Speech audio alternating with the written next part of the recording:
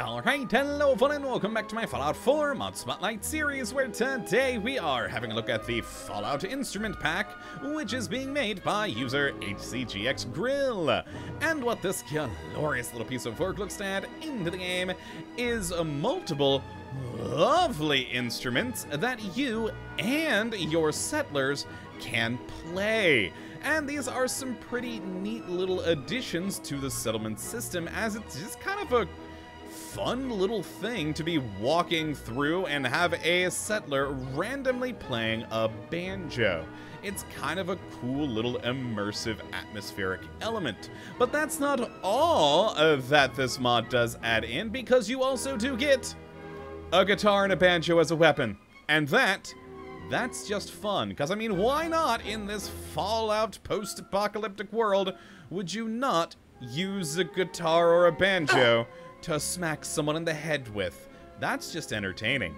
And all in all, it's, I think, a fun little addition. Though I gotta admit, I'm really more in this pack for the playable instruments as they are kinda cool. I like that little mechanic added in there. Now, as for how you get your hands on these lovely things, you are going to have to complete a quest. Now that quest will pop when you do first start up the game, and it'll send you on your way to Diamond City where you read a note that sends you to the Warren Theater for some lady who's trying to bring music back to the Commonwealth but needs help protecting against bandits. When you arrive though, ooh boy, those bandits are there, and well, you have to kill them, and you find that poor lady's body over in the corner.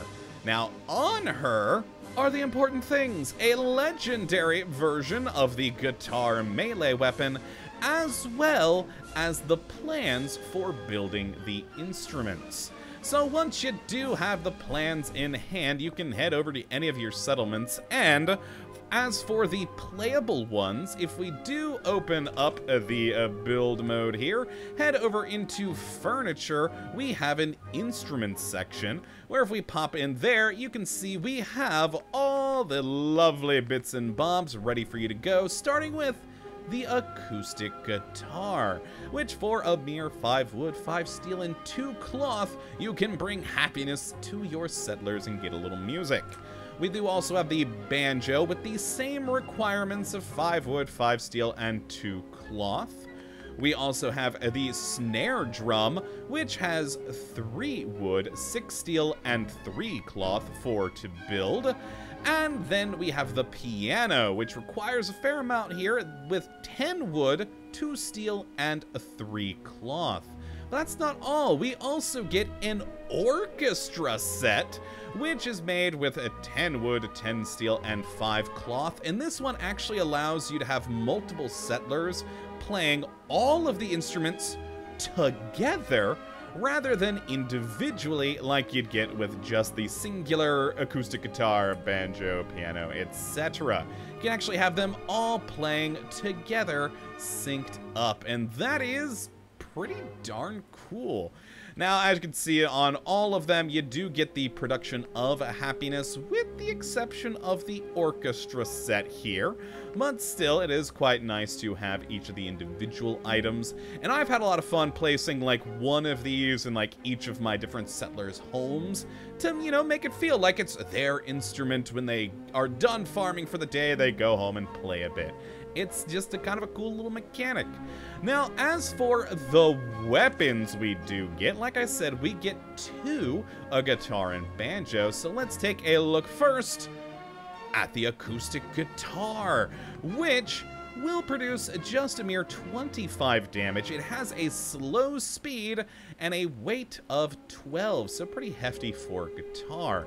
Now, as for the banjo, this one's a little bit less powerful at 19 damage. Again, a slow speed and a weight of 12. And as you can see here on both the uh, banjo as well as the acoustic guitar, they look wonderful. I really do like everything about them. The one kind of disappointing thing is on the banjo, there are no modifications you can do whatsoever. So it's always gonna be a pretty lackluster melee weapon, unless of course the mod maker decides to add in some things. Now the guitar, this does in fact have several modifications you can add on, and that is wonderful because it'll make it more powerful and allow you to change up the aesthetics a bit, which is pretty cool. Now, as for how you get your hands on the guitar and banjo, once you do collect the plans from the quest, you can go to any chemistry station and see that you have the instrument weapons category here, where you can make the acoustic guitar for 2 steel and 5 wood, and the banjo for just 5 steel, which is a pretty nice. Now, if we do take a look at the modifications we have available, just to again show you, the banjo, sadly, nothing in here. Hopefully we'll get something down the road, but for right now, all the modifications are in the acoustic guitar. We're in the first upgrade category, we can have either nothing, the default, a set of spikes, some razor blades shoved on there, or saw blades, which will give you the highest increase in damage and target bleed, which is pretty good. Now then we have a paint category, which I always love having because you can change up the aesthetic look to what you like, and you get either the base paint, a blue paint, green, purple, red, and yellow. And I really do enjoy that they're all, no matter which color you choose, really worn down. It makes it feel like it fits more in our post-apocalyptic world here.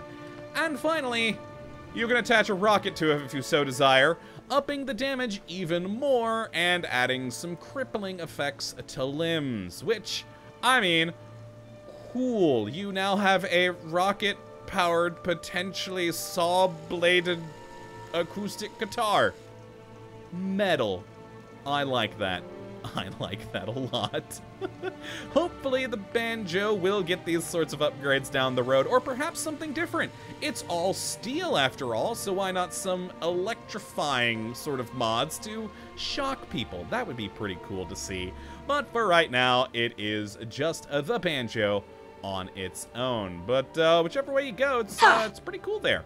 Now, I do actually want to take a look over here at the uh, nocturnal acoustic guitar that you do find on that one poor woman's body, as it's a pretty cool little thing doing increased damage as the night grows longer, but less damage in the day.